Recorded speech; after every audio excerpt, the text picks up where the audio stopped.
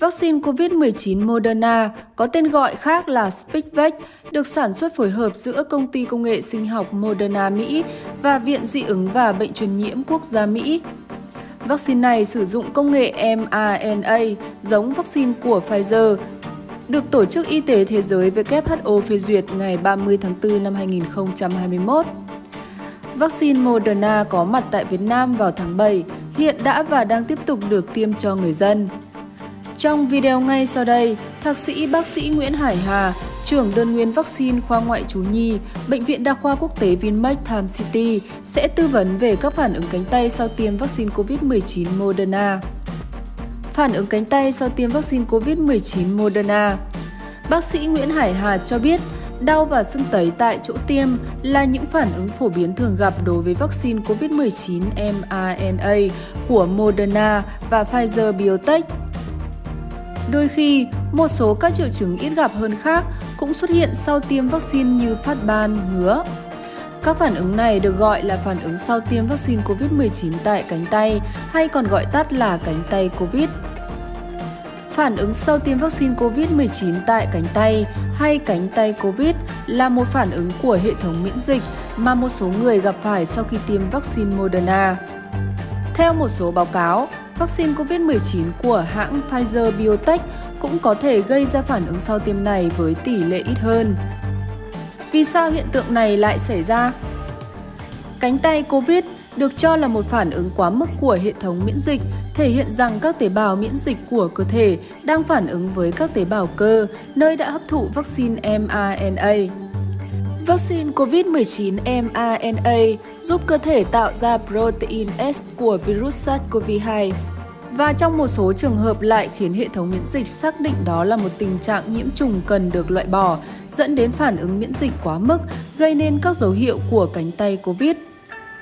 Hiện tại, vaccine COVID-19 mRNA vẫn là rất mới, cho nên chúng ta vẫn không biết rõ ràng về cơ chế chính xác gây ra các triệu chứng của cánh tay COVID. Các nhà khoa học trên toàn thế giới vẫn đang tiếp tục nghiên cứu về dấu hiệu này. Các triệu chứng của cánh tay COVID Các triệu chứng cánh tay COVID sẽ xuất hiện sau vài ngày đến một tuần hoặc lâu hơn sau khi tiêm mũi thứ nhất hoặc mũi thứ hai. Theo nghiên cứu trên, những người gặp phải tình trạng này cho thấy các triệu chứng cánh tay COVID thường xuất hiện khoảng 7 ngày sau mũi tiêm đầu tiên, khoảng 2 ngày sau mũi tiêm thứ hai. Các triệu chứng của cánh tay COVID bao gồm ngứa có thể ngứa dữ dội, phát ban đỏ hoặc đổi màu vùng da quanh chỗ tiêm với các kích thước khác nhau. Trong một số trường hợp, phát ban có thể lan tới bàn tay hoặc ngón tay. Sưng tấy Đau Da vùng tiêm cảm thấy nóng ấm khi chạm vào. Xuất hiện các cục u cứng dưới da tại vị trí tiêm. Triệu chứng cánh tay COVID kéo dài bao lâu?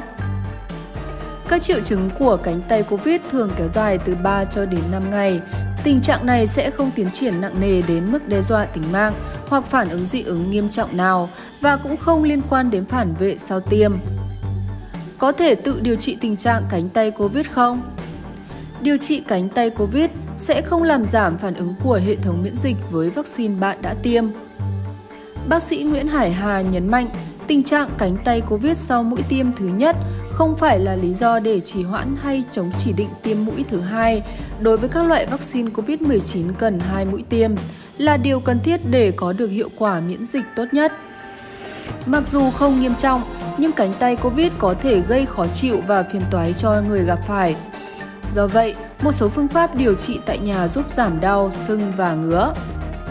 Dùng steroid tại chỗ Dùng các thuốc giảm đau tại chỗ Dùng thuốc kháng histamine, dạng uống Sử dụng thuốc giảm đau, chẳng hạn acetaminophen hoặc thuốc chống viêm không steroid